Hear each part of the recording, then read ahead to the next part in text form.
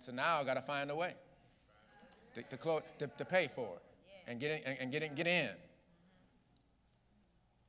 And, I, and I'm not a real estate person. That's not my expertise. I do have kind of a financial banking background, a business background, but, but this is new, and I sought God. And God says, write a letter outlining the vision of the ministry. Tell them how the families are being healed and marriages are being improved and the children are getting saved. And, and tell them how you're bringing the Word of God to the nations. Begin to talk about the vision.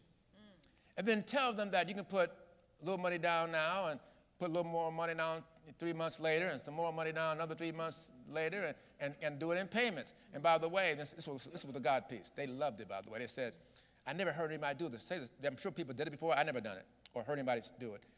The money you give them monthly, let us start off here we can afford and then gradually go up to a higher amount.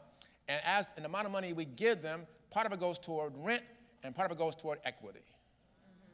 And the rent money is down the toilet as far as we're concerned because can, that's yours. But part of it's equity because we plan to buy this property. But we don't have all the money right now. And so I wrote it down, the vision and all those suggestions and the payment pro, uh, you know, guidelines, and get it done in 18 months. And so I give it to the uh, uh, real estate broker who was really professional, really good guy. He looked at it and pushed it back to me across my dining room table and said, Pastor, uh, I've been in business a long time. Uh, they won't accept that. If I was them, I wouldn't accept it. I looked at it, looked at him, threw it right back across my dining room table. I said, You're not them, give it to them. Say, find a way. See, when you're intent on finding a way, sometimes you got to tell professionals, I'm not knocking professionals, but you got to know what God is speaking to you. You got to know what God is saying to you. Talking about faith will find a way.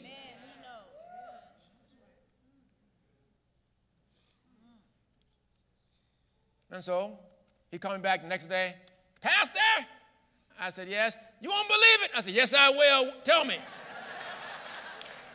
I knew why he was talking, it was good news. and he said, They loved your offer. You know what they did? They like it so much, everybody else who put an offer on the property, they send it to them. I said, why they doing do that, man? Send my offer so they can check it out too. Anyway, we got, we, we got the property. Amen. Say, find a way. Now, I share this, not, even as a, when I wasn't a pastor, I was thinking this way. See, I got saved early in college.